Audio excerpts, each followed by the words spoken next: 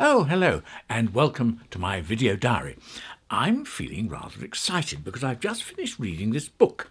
It's called Head Rat, and it's written by a chap called Tony Bilbow. This book uh, is a corker, an absolute corker. It's set in the future, the future world of broadcasting, and in particular, a future BBC. Now, he doesn't say how far in the future, uh, but I suspect it's sort of between five, ten, possibly 15 years in the future. Now, this is what I call a character driven novel, which I like very much.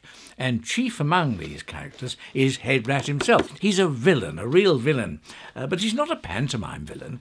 He's a charmer, an absolute charmer. He's got a, a strong, firm handshake. Um, you trust him instinctively, even though he's going to tread all over you.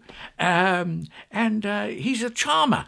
Um, how can I put it? If you wanted a, a mental image, Imagine somebody like a, a, young Nigel Havers crossed with early Tony Blair, and that's Head Rat. You've got him in a nutshell. And uh, I, I, just I, I, did make some notes, but I've lost them. Uh, doesn't matter. The point is that it's a, it's a satirical thriller, I suppose, uh, with loads and loads of wonderful characters. And uh, oh, and, and, another bonus. this is wonderful. When I read a book that I really like, I find that when I come to the last chapter, it sort of lets you down. Do you know what I mean? It sort of fizzles out and leaves you feeling very unsatisfied. But not so with Head Rat. No, uh, the last chapter is absolutely wildly funny and a, a, perfect ending. I don't want to spoil it for you, so I won't. Uh, is there anything else I can tell you about it? Um, no, I don't think so. Oh, there's a lot of sex in it.